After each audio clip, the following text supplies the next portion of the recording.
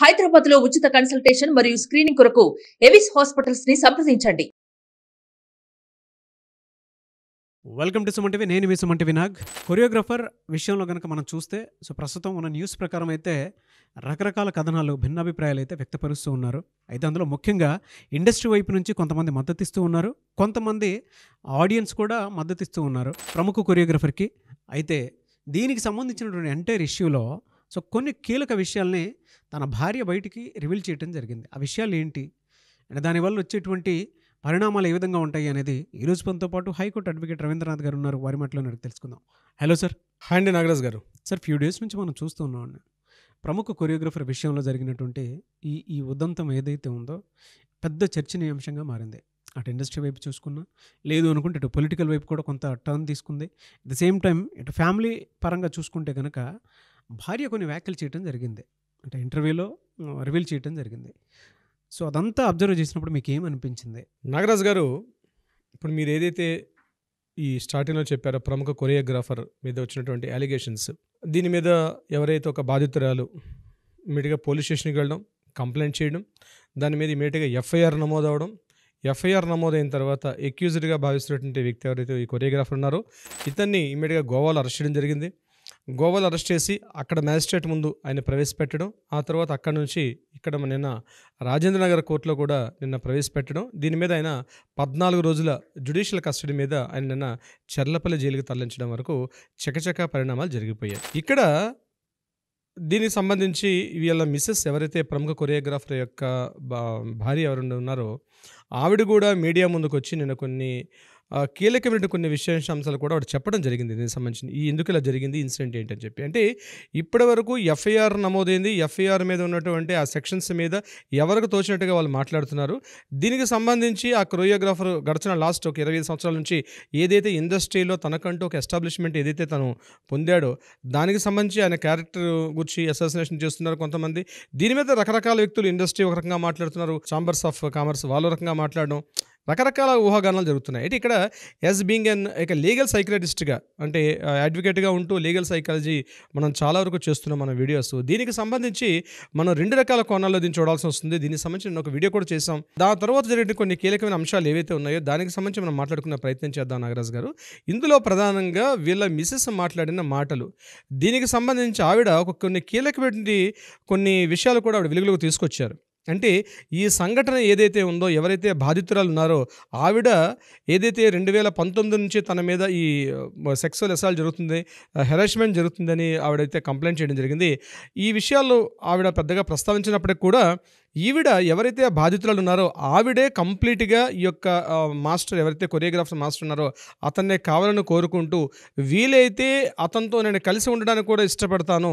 నేను అతను మీరు కూడా యాక్సెప్ట్ చేయండి అని నా మీద తన మీద కూడా ఎవరు వైఫ్ మీద కూడా ఆవిడ ఫోర్స్ చేసిందని అయితే తను ఒక ఒక సెంటెన్స్ మాట్లాడడం జరిగింది దాంట్లో. ఏమని మాట్లాడారంటే నేను తింటున్న కంచంలో వీలైతే ముద్ద పెట్టగలగాని షేర్ ఇవ్వగలుగుతాను తప్పించి నేను పడుకున్న మంచంలో షేర్ ఇవ్వడం అంటే కుదరని పని కదా అని నేను మాట్లాడడం జరిగిందని. దీనికి అమ్మాయి పర్వాలేదు మీ ముస్లిం కమ్యూనిటీలో మీరు యాక్సెప్ట్ చేస్తారు. First wife second wife third wife ఇట్లా నాలుగు వైఫ్ల వరకు మీకు యాక్సెప్టెన్స్ ఉంది కాబట్టి. సో నాకు ఈ కొరియోగ్రాఫర్ అంటే చాలా ఇష్టం. సో అతన్ని నేను ఖచ్చితంగా నేను ప్రేమిస్తున్నాను అని ఒక జ- ఇది ఇది జరిగింది. అని తన ప్రపోజల్ చేశారని. ఈ విషయం మీద రెండు సంవత్సరాల నుంచి జరుగుతుందని ఇదేదో ఓవర్ నైట్ రాత్రికి రాత్రి జరిగినటువంటి విషయం కాదు అని తను చెప్ప ఆ- ఆ వీడియోలో తను చెప్పడం జరిగింది. సో రెండు సంవత్సరాలు జరుగుతుంది. ఇది నేను ఒక కంట కనిపెడుతూనే ఉన్నాను. ఈవిడ చాలా వరకు కంటిన్యూగా నన్ను అన్నయ్య అతన్ని అన్నయ్య అంటుంది నన్ను బాబీ అంటుంది కానీ దీని వెనకాల బిహైండ్ స్టోరీ చాలా జరిగింది.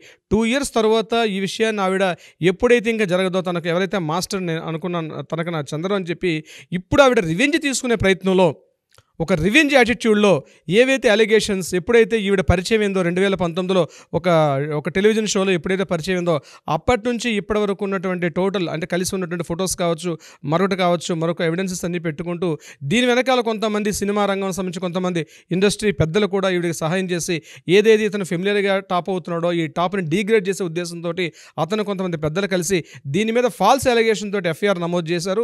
దీనివల్ల నా హస్బెండ్ చాలా వరకు ఈరోజు అరెస్ట్ చేయబడ్డాడు అని చెప్పారు చెప్పడం జరిగింది.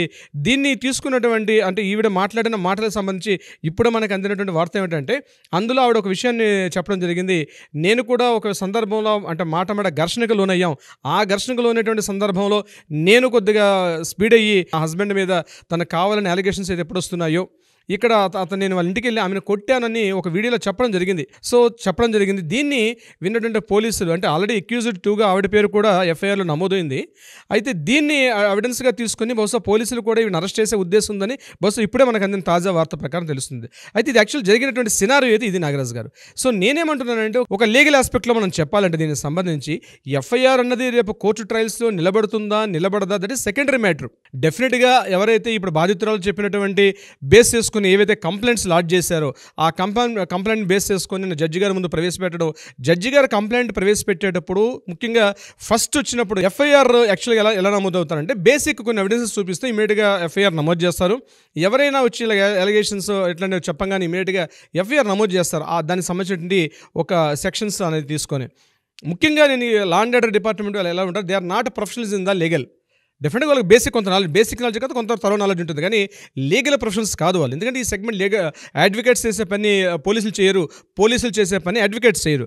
సో ఇమీడియట్గా దాన్ని బేస్ చేసుకుని లాండ్ ఆర్డర్లో ఉన్నటువంటి రాజేంద్ర రాజేంద్ర పిఎస్లో ఎఫ్ఐఆర్ అంటే జీరో ఎఫ్ఐఆర్ నమోదవడం అక్కడ నుంచి నార్సింగ్ నార్సింగ్ పిఎస్లోకి దీన్ని ట్రాన్స్ఫర్ చేయడం ఇమీడియట్గా వాళ్ళు ఇంట్రాగేషన్స్ ఇక ట్రయల్స్లో వెళ్ళి ఇతను ఎక్కడ ఉన్నారో కనుక్కోవడం గోవాకి వెళ్ళి అరెస్ట్ చేయడం జరిగింది. అక్కడ కోర్టులో ప్రవేశపెట్టారు. ఇక అక్కడ నుంచి నిన్న ఉప్పరపల్లి పిఎస్లో పద్నాలుగు రోజులు రిమాండ్కి పంపించారు. ఇది జరిగిన స్టోరీ అయితే సో ఇలాంటి సంఘటన సెలబ్రిటీల్లో జరగడం అంది. గడచిన ఒక మనం ఐదారు సంవత్సరం చూస్తున్నాం నాగరాజ్ గారు. ఇదేం కొత్తగా జరగట్లా? బాగా ఫేమస్ అవుతున్నటువంటి ఒక పర్సన్ మీద ఒక ఫాల్స్ అలిగేషన్స్ నేను ఫాల్స్ అలిగేషన్ అనే వర్డ్ వాడని కూడా సాహసిస్తున్నాను. ఎందుకంటే అది రైట్ ఆఫ్ ఫాల్స్ అన్నది అది కోర్టు ప్రూవ్ చేస్తుంది.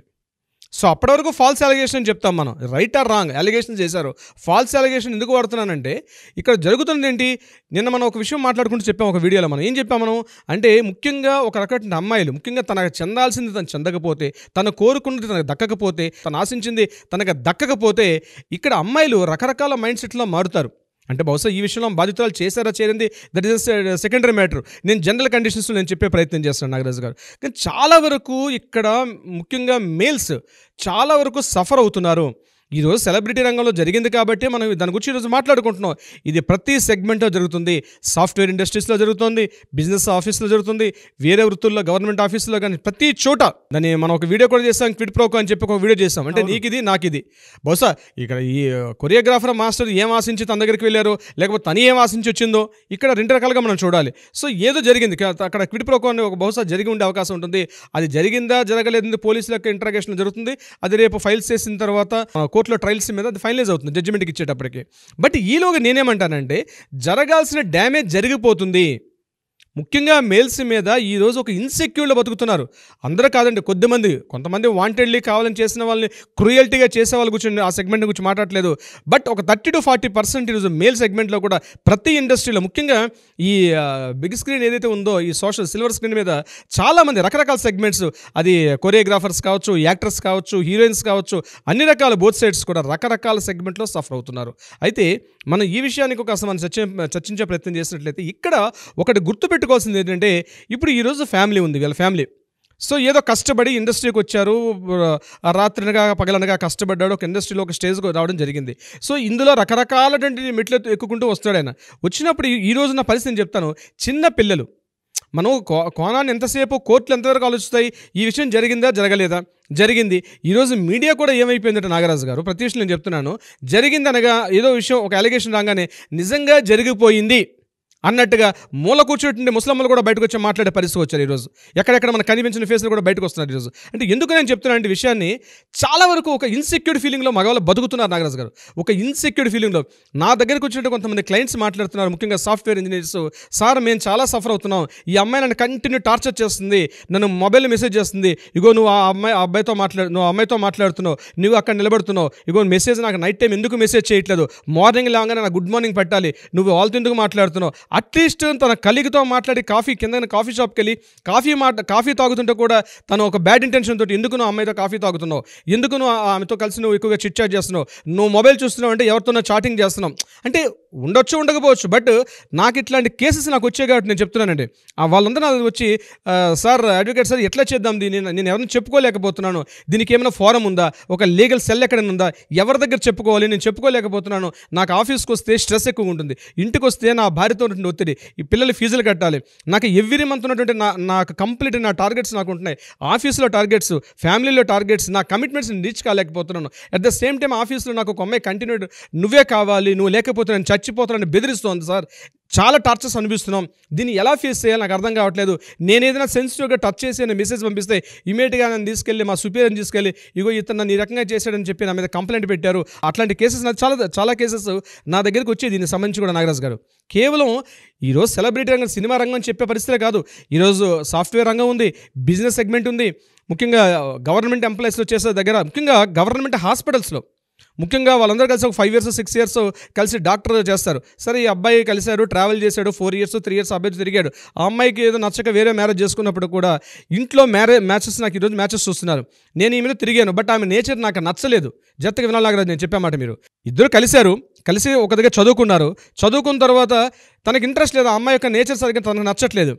తన ఇంట్లో వాళ్ళు మ్యాచెస్ చూస్తున్నారు. మ్యారేజ్ చేసుకుందామని ఈ అబ్బాయి తను అనుకుంటున్నాడు కానీ ఈ అమ్మాయి ఏం చేస్తుంది? నువ్వు నాతోటే మాట్లాడాలి. నువ్వు నన్ను పెళ్ళి చేసుకుంటావా చేసుకోవా? చేసుకోకపోతే మనం తిరిగినటువంటి ఏవైతే ఉన్నాయో రికార్డ్స్ అన్నీ కూడా నా దగ్గర ఉన్నాయి. నేను ఖచ్చితంగా రికార్డ్స్ని బయట పెడతాను. మీ ఇంట్లో వాళ్ళు చెప్తాను ఎవరైతే మొత్తం నేను బయట సోషల్ మీడియాలో పెడతాను లేకపోతే నేను డిఫేమ్ చేస్తాను సోషల్ మీడియాలో కానీ ట్విట్టర్లో కానీ మొత్తం ఇట్లాంటి ఇట్లాంటి క్యాటర్ అని చెప్పి చెప్తాను. అని చెప్పి భయపడుతున్నా. భయపెట్టే పరిస్థితి అమ్మాయిలు తిరిగారు. ఇది అందరూ అమ్మాయిల విషయంలో నేను చెప్పలేదు. కొద్దిమంది అమ్మాయిల విషయం మీద మాట్లాడుతున్నాను నాగరాజు గారు. ఇది ప్రతి సెగ్మెంట్. నా దగ్గర వచ్చిన కేసు ఇట్లాంటి కేసు చాలా ఉన్నాయి. నేను దాన్ని బేస్ చేసుకుని మీతో మాట్లాడే ప్రయత్నం చేస్తున్నాను. ఇంకొక సందర్భం మీరు చెప్తే ఆశ్చర్యపోతారు నాగరాజు గారు. ఆ అబ్బాయికి జాబులు పోయే సందర్భాలు ఉన్నాయి. ఇట్లాంటి కంప్లైంట్స్ చేయడం వల్ల జాబ్స్ కూడా పోయాయి ఆ అబ్బాయికి. ఆ అబ్బాయి నన్ను వచ్చి ఒక వన్ వీక్ నుంచి బోర్ నేడుస్తున్నాడు. ఎక్కడో పేరెంట్స్ ఎక్కడో ఎక్కడో శ్రీకాకుళం వైజాగ్ దగ్గర ఆ పేరెంట్స్ ఉంటే పాపం పేరెంట్స్కి దూరంగా ఇక్కడికి వచ్చి ఆయన ఈ హైదరాబాద్ మన మాదాపూర్ ఏరియా ప్రాంతంలో ఆయన ఒక హాస్టల్ రూమ్లో ఉండి రాత్రిగా పగలన కష్టపడి తను సంపాదించుకున్న కొంత అమౌంట్ని పేరెంట్స్కి పంపిస్తుంటే ఈ అమ్మాయి టార్చర్ చేసి నువ్వు నాతో మ్యారేజ్ చేసుకోకపోతే నిన్ను బ్లాక్మెయిల్ చే బ్లాక్మెయిలింగ్ చేస్తూ అమ్మాయి. ఇతను చెప్పుకుంటూ పోలీస్ స్టేషన్కి వెళ్తే పోలీసులు వినే పరిస్థితి లేరు ఊరికో ఎంజాయ్ చేయాలి అమ్మాయి ఎంజాయ్ చేసి బయటకు మర్చిపోవాలి కానీ తప్పించి నువ్వు ఒక పెద్ద దీనికి వచ్చి కంప్లైంట్ చేస్తాను పోలీసులు కూడా కేసు టేకప్ చేయట్లే. అదే ఒక అమ్మాయి వీళ్ళు మాట్లాడితే పోలీసులు కేసు టేకప్ చేస్తున్నారు. ఈరోజు నువ్వు ఎంజాయ్ చేయాలి వదిలేయాలంటున్నారు. ఎంజాయ్ చేసి వదిలేస్తే వాళ్ళు ఏం ఎవిడెన్సెస్ పట్టుకుంటున్నారు? ఇక్కడ రెండు రకాలుగా మాట్లాడాలి చూడాలి నాగరాజు గారు. ఒక విషయం నేను కొద్దిగా ఆవేశంగా చెప్తున్నాను అనుకుంటున్నారు కానీ వాస్తవం అంటే ఆ ఫీల్ అవుతున్నాం మేము యాక్చువల్గా ఆ incidents sir common sense exactly ఇక్కడ కొన్ని ఎవరు సంఘటనలు మీకు నేను చెప్తాను. ఒక కీ పాయింట్ నేను మీకు చెప్పే ప్రయత్నం చేస్తాను. ఒక అమ్మాయి ఒక అబ్బాయితో మాట్లాడుతుంది. మాట్లాడిన తర్వాత సరే వాళ్ళిద్దరికి ఇంట్రెస్ట్ అయ్యి ఒక మ్యూచువల్ కాన్సెంట్తో ఒక ప్లేస్కి వెళ్తారు. వెళ్ళిన తర్వాత సెకండ్ టైం ఏం చేస్తుంది? ఆ అమ్మాయి కావాలని ఒక ఒక ఎవిడెన్స్ క్రియేట్ చేసుకొని కూడా వెళ్తుంది. ఇక్కడ చూడండి మ్యూచువల్ కన్సెంట్ అనుకునేటప్పుడు ఎవిడెన్స్ వీడి నాతో తప్పుగా ప్రవర్తిస్తే నాకు ఫ్యూచర్లో పనికొస్తుందని చెప్పి ఎవిడెన్సెస్ కలెక్ట్ చేయడం ఇది కరెక్టా రాంగా? నిజంగా పోస్ట్ చేయండి ఆడియన్స్ మనతో మాట్లాడిన వాళ్ళు. Is it right or wrong ఇద్దరు కలిసి ఉన్నారు కలిసి మాట్లాడుతున్నారు. ఈ అబ్బాయి కూడా ట్రై చేస్తున్నాడు అమ్మాయి కూడా ట్రై చేస్తుంది. ఫ్యూచర్లో మనం విడిపోతే ఇప్పుడు మనం ట్రావెల్ చేసినటువంటి ఇవన్నీ కూడా మనకు ఎవిడెన్స్గా పనికొస్తాయని చెప్పి ఆ అమ్మాయి ఇవన్నీ కూడా ఫైల్ చేసి పెట్టుకుంటుంది ఈరోజు. ఈ అమ్మాయి యొక్క మోజులో ఈ పిచ్చినా కూడా ఏం చేస్తాడంటే వీడు సరిగ్గా అర్థం చేసుకోలేని పరిస్థితిలో ఈ అబ్బాయి వాడు తిరుగుతూ ఉన్నాడు ఖర్చు పెడతాడు. మొత్తం మంత్లీ వచ్చి తన శాలరీ మొత్తం తన షాపింగ్ అంటుంది లేకపోతే ఇంకొకటి అంటుంది ఇంకొకటి అంటుంది. రకరకాల ఎక్స్పెన్స్ అయిపోయిన తర్వాత ఈ అమ్మాయి మొత్తం ఎవిడెన్స్ అని తనకు కావాల్సిన ఎవిడెన్స్ అని క్రియేట్ చేసి పెట్టుకుంటుంది ఒక ఫైల్ చేసి పెట్టుకుంటుంది. ఎప్పుడైనా నువ్వు తను నువ్వు అయినప్పుడు నీకు చేసి నేను బ్లాక్మెయిల్ చేసే పరిస్థితికి వచ్చేసారు నేను ఈ సంఘటనకు సంబంధించి బహుశా రిలేటెడ్ కాకపోయినా ఎందుకు మాట్లాడుతున్నాను? మాట్లాడుతున్నానంటే చాలామంది చాలా కొన్ని వందల మంది ఈరోజు లేడీస్ చేస్తున్నటువంటి ఫాల్స్ ఎలిగేషన్స్లో అన్నిటిని ఒక చట్టం ఇరుక్కుపోయి తన లైఫ్ను కోల్పోయి భవిష్యత్తు మీద అంధకారం అయిపోయి ఏం చేయాలో అర్థం కాక మాలాంటి అడ్వకేట్లు చుట్టూ తిరుగుతున్నారు. మాకున్నటువంటి సొల్యూషన్స్ ప్రకారం మేము వాళ్ళకి చేస్తున్నాం సొల్యూషన్స్ ప్రకారం. కానీ జరగాల్సిన డ్యామేజ్ జరిగిపోతుంది. ఇది ఈరోజు సెలబ్రిటీల విషయానికి వచ్చినట్లయితే సెలబ్రిటీలు టోటల్ వాళ్ళకి డిఫేమ్ అవుతున్నారు వాళ్ళు. వాళ్ళ పరువు పోతుంది. సరే రేపు ఫోర్ నైంటీ నైన్ వేస్తారు ఫైవ్ హండ్రెడ్ వేస్తారు వాళ్ళ మీద పరువు నష్టం దావా వేస్తారు బట్ జరగాల్సిన డ్యామేజ్ ఎవరిస్తారండి? దాన్ని ఏ రకంగా మీరు కంపెన్సేట్ చేస్తారు? ఈరోజు ఈ కొరియోగ్రాఫర్ విషయానికి మనం మాట్లాడుకోగలిగితే ఈయనకి జరగాల్సిన డ్యామేజ్ జరిగిపోతుంది ఈరోజు. రేపు వీళ్ళని అరెస్ట్ చేస్తారు లేకపోతే వాళ్ళ మిస్సెస్ అరెస్ట్ చేస్తారు అది ఎస్ఆర్ రాంగ్ అంటే రేపు కోర్టు ట్రయల్స్లో ఫిక్స్ అవుతుంది. ట్రయల్స్లో జడ్జిమెంట్లు వస్తాయి. ఇట్ విల్ టేక్స్ ఆల్మోస్ట్ ఒక వన్ ఇయర్ పడుతుంది. ముప్పై ఏళ్ళ నుంచి తన కట్టుకున్నటువంటి కళ్ళ సౌధాన్ని ఒక అమ్మాయి వచ్చి కూల్ చేస్తే మరలా తెచ్చుకోవడానికి కోసం తను మళ్ళీ కాలాన్ని వెనక్కి తీసుకొని రాలేడు. రేపు కోర్టుల్లోకి వెళ్తే మరలా పన్ను నష్టం దావాలంటారు. సరే డిఫేమ్ అయితే మరలా దాని కాంపెన్సేషన్కి వెళ్తాయి. ఈ ఒక్క చట్టం తప్పించి ప్రత్యేకంగా చట్టాలంటూ లేవండి. డెఫినెట్గా సరే అది గృహహింస చట్టాలు అయితే కొంత మేల్స్కి ఫీమేల్స్కి సంబంధించి ఉంటుంది. కానీ ఈ ప్రత్యేకమైన సెగ్మెంట్కి సంబంధించిన మాట్లాడుతున్నాను. ఇట్లాంటి అలిగేషన్స్ వచ్చేటప్పుడు ప్రూవ్ చేసుకొని ఎస్ నువ్వు జరగలేదు అని కేసు కొట్టేశారు అనుకోండి బట్ జరగాల్సిన డ్యామేజ్ జరిగిపోయిన దాన్ని ఎట్లా కొలుస్తాం? ఆ కుటుంబానికి ఆ నాట్ ఓన్లీ ఒక్క కొరియోగ్రాఫర్ కుటుంబాన్ని కాదండి ఇట్లా ఛిద్రం అయిపోయినటువంటి కుటుంబాలకి ఎంతమందికి న్యాయం జరుగుతుంది? సో డెఫినెట్గా నాట్ ఓన్లీ ఒక ఈ సిల్వర్ స్క్రీన్ ఇండస్ట్రీ కాదు నాగరాజ్ గారు ప్రతి ఇండస్ట్రీలో జరుగుతుంది. దీనికి డెఫినెట్గా ఏదో ఒక మాకు తెలిసినట్టు కొంత మా సహాయం చేసే అవకాశం మాకుంది కాబట్టి డెఫినెట్గా మనం సహాయం చేద్దాం నాగరాజ్ గారు. చాలామంది ఉన్నారండి. నా కింద కామెంట్ బాక్స్లో కూడా వాళ్ళ అభిప్రాయాన్ని వాళ్ళు వ్యక్తపరిచేటువంటి వాళ్ళు ఉన్నారు. ఇందులో మనం చూడాల్సినటువంటి అంశం ఏదైనా ఉంది అని అంటే ప్రస్తుతం ఉన్నటువంటి ఇన్సిడెంట్కి సంబంధించి అమ్మాయికి అన్యాయం జరిగింది అని అంటే డెఫినెట్గా దీనికి సంబంధించినటువంటి వాటిల్లో ఏ రకంగా చూసుకున్నా సరే న్యాయం జరగాల్సినటువంటి అవసరం డెఫినెట్గా నాగరాజ్ గారు ఈ విషయంలో ఈ విషయంలో డౌటే లేదు. ఈ విషయంలో అమ్మాయికి కానీ అన్యాయం జరిగితే డెఫినెట్గా శిక్ష పడాలి. అది ఎంత ఎటువంటి శిక్షలు ఉంటే ఇంకొక నాలుగు శిక్షలు ఉండి చేయాల్సిన అవసరం కూడా ఉంటుంది. కానీ లేనప్పుడు నేనేం మాట్లాడుతున్నానంటే ఒకవేళ ఈ జరగాల్సిన డ్యామేజ్ ఈరోజు సొసైటీలో జరుగుతుంటే నా దగ్గరకు వచ్చే కేసెస్ సంబంధించి నేను చెప్తున్నాను. అంతేగాని ఇక్కడ నేను ఏదో తన వకాలత్ పుచ్చుకుని ఎవరి వైపు నేను మాట్లాడటం లేదు. ఇది నేను బ్యాలెన్స్డ్గా మాట్లాడుతున్నాను. తప్పు ఇక్కడ జరిగిందా ఇక్కడ జరిగిందా? తప్పు రెండు వైపులో ఉండకుండా తప్పు జరిగే అవకాశం లేదు. కానీ ఈరోజు చట్టాలు మా కోర్టులు ఏం చేస్తాయి? సాక్ష్యాలు మాత్రమే ప్రాతిపాదికగా తీసుకుంటాయి. ప్రాతిపదికగా సాక్ష్యాలు చూసుకుంటాం మనం సాక్ష్యాలు కావాలి. ఇప్పుడు నేనేమంటా అంటే కావాలని తను ఆ సిస్టంలోకి వెళ్తూ తను క్రియేట్ చేసుకోవాలి సాక్ష్యాలు క్రియేట్ చేయని వెళ్ళేటప్పుడు దీనికి ఏ రకమైన శిక్షలు ఉంటాయి నాగరాజు గారు? చెప్పాలి కదా అవి కూడా నువ్వు వెళ్తున్నావు నేను అతనితో వెళ్తున్నాను డేటింగ్ వెళ్తున్నాను డేటింగ్ వెళ్తున్నాను అని చెప్పి నువ్వు వాలంటరీగా లేకుండా ఇతను ఏమైనా ఫ్యూచర్లో జరిగితే నేను ప్రికాషన్గా ఈరోజు సాక్ష్యాలు క్రియేట్ చేయాలి అని చెప్తే ఒక మాల్ ఇంటెన్షన్తో సాక్ష్యాల కోసమే నువ్వు అతనితో డేటింగ్కి వెళ్తే దీనికి ఆన్సర్ ఏం చెప్తుంది? సాక్ష్యాలు చూస్తుంది కోర్టు బట్ నువ్వు సాక్ష్యాల కోసం క్రియేట్ చేసుకుని అతనితో వెళ్ళేటప్పుడు దీనికి సంబంధించిన యాక్ట్స్ ఏం చెప్తాయండి? దీనికి బలైపోయాడు మగాడు కాదా? అంటే బోత్ సైడ్స్ ఉంటుంది నాటు. నేను ఇటువైపు చెప్తాను అటువైపు చెప్తాను. బట్ బలైపోయింది మగాడు కాదా? అలా బలైనటువంటి వాళ్ళు చాలామంది ఉన్నారని మిమ్మల్ని అప్రోచ్ అవుదాం అనుకోవడానికి వచ్చేటువంటి వాళ్ళు కూడా ఉన్నారు. కింద కామెంట్ బాక్స్లో పోస్ట్ చేసినటువంటి వాళ్ళు. మిమ్మల్ని అప్రోచ్ అవ్వచ్చా? తప్పనిసరిగా నాగరాజు గారు వీలైనంత వరకు మనకి పురుషులకు కూడా న్యాయపరంగా కొన్ని రకాల చట్టాలు ఉన్నాయి నేను కేవలం పురుష పక్షపాతి మాత్రం కాదండి. నాకు కావాల్సింది న్యాయం కావాలి. తప్పు చేసేవాడు శిక్షించబడాలి. డెఫినెట్గా చట్ట ప్రాతిపదికగా చట్ట చట్టం యొక్క చట్టంలో డెఫినెట్గా శిక్షించబడాలి. ఎవరు తప్పు చేశారా ఎవరు ఒప్పు చేశారా కాదు. కానీ ఇప్పుడు జరుగుతున్న పరిస్థితుల్లో చట్టాల్లో మార్పులు జరగాల్సిన ఆవశ్యకత ఉంది. అని చెప్పడం నా ఉద్దేశం. ఎంటైర్ ఇన్సిడెంట్లో కనుక మనం చూస్తే అంటే కొరియోగ్రఫర్ విషయంలో మాత్రం నిజంగా ఫ్యామిలీ మొత్తం వాళ్ళ రోడ్డును పడ్డారు అని చెప్పడంలో ఏమాత్రం సందేహం లేదు. ఎందుకంటే ఏదో ఇందాక ఒక స్టేట్మెంట్ కూడా చూశాను. అంటే భార్యను కూడా అరెస్ట్ చేసే అవకాశం ఉంది అనేటువంటిది. బట్ ఇక్కడ ఏదన్నా జీవితంలో ఏదన్నా జరిగేటప్పుడు పిల్లలు వెనకుంటారు. సో వాళ్ళని కూడా మనం ఆలోచించాలి. స్కూల్కి వెళ్ళేటప్పుడు మీ ఫాదర్ అది మీ ఫాదర్ ఇది అని చెప్పేసి వాళ్ళని కూడా తెలియకుండానే హేళన ఎగతాళి అట్లాంటివి చేస్తూ ఉంటారు. చాలా మనస్తాపానికి గురవుతూ ఉంటారు.